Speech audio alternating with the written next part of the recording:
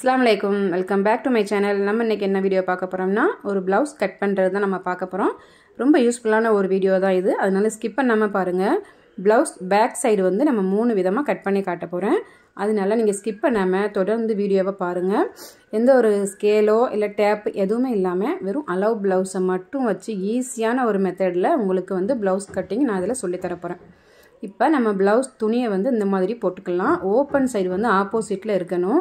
Close பகுதி வந்து நம்ம பக்கம் இருக்கணும். எப்பயுமே வந்து நம்ம துணி வெட்டுறப்ப இந்த மாதிரி மெத்தடில் தான் போட்டுக்கிறணும். இப்போ வந்து நீங்கள் அலோவ் ப்ளவுஸை வந்து நல்லா அயன் பண்ணிவிட்டு கரெக்டாக அந்த மாதிரி ப்ளவுஸுக்கு மேலே போட்டுக்கிறோங்க. அதாவது ரெண்டாக மடிச்சிட்டு ப்ளவுஸ் துணியை ஜாக்கெட் துணி இருக்குல்ல அதை ரெண்டாக மடிச்சுட்டு அதுக்கு மேலே இந்த மாதிரி ப்ளவுஸை வந்து நீங்கள் போட்டுட்டு கீழே வந்து ஒரு ஒன்றரை இன்ச்சு மார்க் பண்ணிக்கிறோங்க மடிப்புக்காக. இந்த மாதிரி ஒன்றரை இன்ச்சு மார்க் பண்ணிக்கிறோங்க. இந்த மாதிரி நீங்கள் ப்ளவுஸை போட்டு வெட்டும்போது ரொம்ப ஈஸியாக இருக்கும். இப்போ கழுத்து வந்து நமக்கு எந்த அளவு தேவையோ அந்த கழுத்துக்கு பக்கத்தில் மார்க் பண்ணிவிட்டு ஒரு அரை இன்ச் மேலே மார்க் பண்ணிடுங்க தையலுக்காக. அடுத்து வந்து கழுத்து வந்து பகுதி அந்த அகலத்தை பார்த்தீங்கன்னா கொஞ்சம் விரிவாக தான் இருக்கும். ஏன்னா நம்ம ப்ளவுஸ் போட்டதுனால நமக்கு வந்து ப்ளவுஸ் வந்து கொஞ்சம் விரிவு கொடுக்கும்.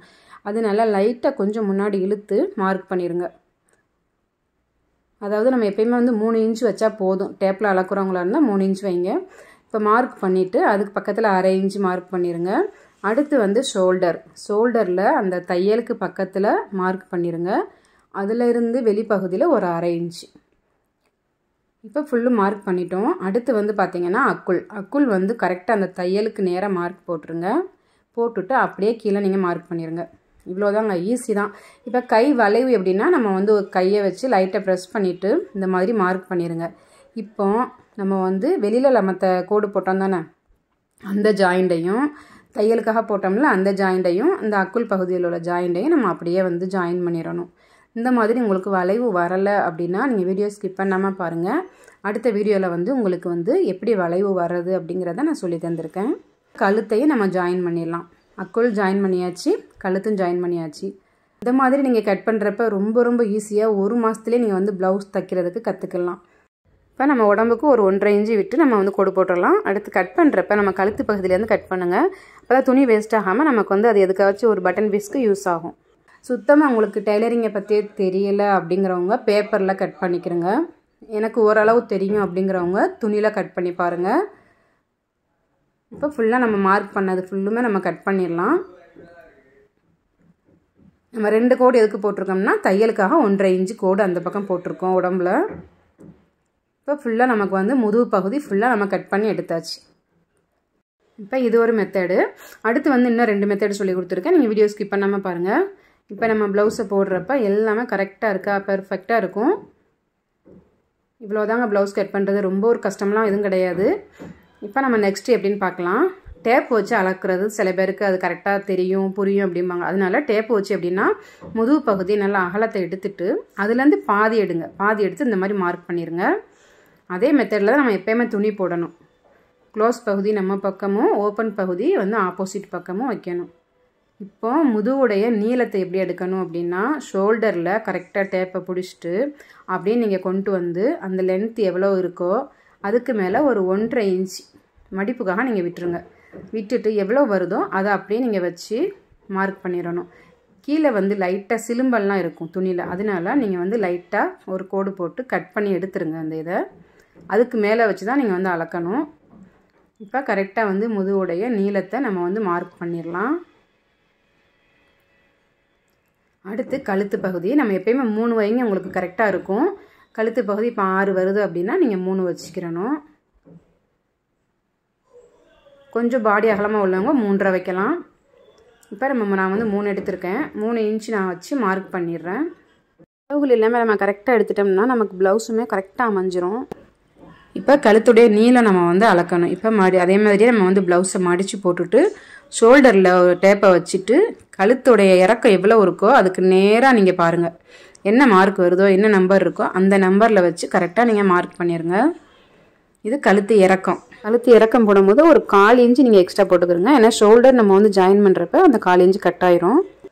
அதே மாதிரியே நீங்கள் மார்க் பண்ணிவிட்டு அதுக்கு நேராகவும் மார்க் பண்ணி கோடு போட்டுருங்க. ஏன்னா உங்களுக்கு வளைவு வராது அதனால நீங்கள் இந்த மாதிரி பாக்ஸ் மாதிரி போட்டிங்கன்னா நீங்கள் வந்து அதில் ரவுண்ட் நெக் பண்ணுறதுக்கு உங்களுக்கு ரொம்ப ஈஸியாக இருக்கும். இப்போ பாக்ஸ் போட்டுவிட்டு அந்த கரெக்டாக அந்த பாக்ஸ் முனியில் வச்சுட்டு ஒரு இன்ச் மார்க் பண்ணிவிட்டு அப்படியே லைட்டாக அங்கேருந்து இங்கே சேர்த்து விட்டிங்கன்னா உங்களுக்கு ரவுண்ட் நெக்கு ஈஸியாக போட்டுடலாம் ரவுண்ட் நெக்கு வராதவங்களுக்கு இந்த மெத்தடு தான் ஒரு டிப்ஸு அடுத்து கை ஜாயின் பண்ணுற இடத்த நம்ம வெட்டலாம்.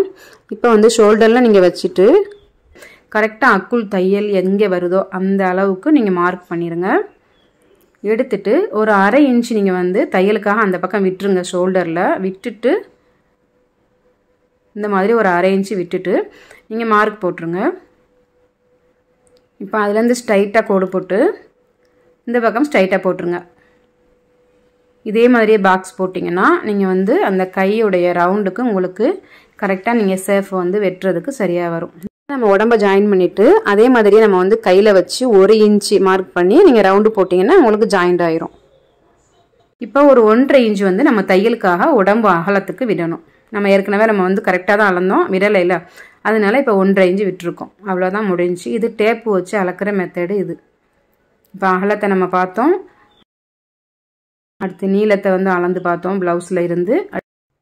அடுத்து நம்ம கழுத்து பகுதி அகலத்தை நம்ம எடுத்து நம்ம அளந்தோம். அடுத்து கழுத்துடைய நீளத்தை நம்ம டேப்பில் அளந்து நம்ம வந்து டிக் பண்ணோம். அடுத்து பார்த்திங்கன்னா கை ஜாயின் பண்ணுற இடத்துல நம்ம வந்து அளந்து டிக் பண்ணோம். டேப் வச்சு நம்ம அளந்த மெத்தடு வந்து நம்ம பேக் சைடு முடிச்சிட்டோம். இப்போ இன்னொரு மெத்தட் என்னன்னு பார்த்தீங்கன்னா சுத்தமாக எனக்கு வந்து எதுவுமே அளக்க தெரியல ரவுண்டே போட வரல அப்படிங்கிறவங்களுக்கு இந்த ஐடியா இது எப்படின்னு பார்த்தீங்கன்னா ப்ளவுஸில் அப்படியே நீங்கள் வந்து மார்க்கரை வச்சு ஃபுல்லாக வந்து அப்படியே மார்க் பண்ணிடுங்க ஒரு சாக் பீஸோ இல்லை எது வச்சு வேணாலும் நல்லா அப்படியே ஃபுல்லாக மார்க் பண்ணிடுங்க நல்லா வந்து அடர்த்தியாகவே கொடுங்க. கொடுத்துட்டு நம்ம எப்பயும் போல் ப்ளவுஸை மடித்து போட்டுட்டு ப்ளவுஸ் துணியை வந்து மடித்து போட்டுட்டு இதை வந்து அப்படியே நீங்கள் அதில் வச்சு ப்ரெஸ் பண்ணிடுங்க அதாவது கீழே தையலுக்கு கொஞ்சம் விட்டுருங்க ஒரு ஒன்றரை இன்ச்சு. அதுக்கப்புறம் நீங்கள் இதை அப்படியே வச்சு லைட்டாக அப்படியே ப்ரெஸ் பண்ணிங்கன்னா அந்த மார்க் ஃபுல்லாக வந்து அந்த ப்ளவுஸ் துணியில் வந்து நமக்கு மார்க் ஆயிரும். அப்போ உங்களுக்கு அந்த ரவுண்டு வந்து போடுறதுக்கு கொஞ்சம் ஈஸியாக இருக்கும். ஏன்னா ரவுண்டு வரலை அப்படிங்கிறவங்களுக்கு இந்த மெத்தடு இப்போ என்ன பண்ணுங்கள் அந்த மார்க்கர்லேயே நீங்கள் போடாமல் அது ஒரு பக்கம் நீங்கள் போட்டுருங்க. அதுக்கு முன்னாடி ஒரு அரை இன்ச்சு எல்லாத்துலேயுமே விட்டுருங்க. தையலுக்காக விட்டுறணும். ஏன்னா நம்ம ப்ளவுஸை போட்டு தான் அப்படியே நம்ம வளர்ந்தோம் அதனால தையலுக்காக ஒரு அரை இன்ச் அரை இன்ச் எல்லாத்துலேயும் விட்டுட்டு இப்போ நீங்கள் மார்க் பண்ணிங்கன்னா ரொம்ப ரொம்ப ஈஸியான மெத்தடு இது. இன்றைக்கி ஃபுல்லாக நம்ம வந்து பேக் சைடு எப்படி கட் பண்ணுறது அப்படிங்கிறத பார்த்தோம். அடுத்து நெக்ஸ்ட் வீடியோவில் வந்து ஃப்ரண்ட் பேஜ் எப்படி கட் பண்ணுறது அப்படிங்கிறத பார்க்கலாம். இப்போ நமக்கு வந்து ப்ளவுஸ் கரெக்டாக நம்ம வந்து எல்லாமே அளவு எடுத்தாச்சு இப்போ நீங்கள் ஜாயின் பண்ணிடுங்க எல்லாத்தையுமே. இப்போ ப்ளவுஸை நீங்கள் அது மேலே போட்டு பாருங்கள் எல்லாமே கரெக்டாக இருக்கும். தையலுக்கு மட்டும் நம்ம விட்டுருக்கோம். இப்போ கோடு போட்டுருங்க. இந்த வீடியோ உங்களுக்கு பிடிச்சிருக்குன்னு நினைக்கிறேன். ரொம்ப யூஸ்ஃபுல்லாக இருந்திருக்குன்னு நினைக்கிறேன்.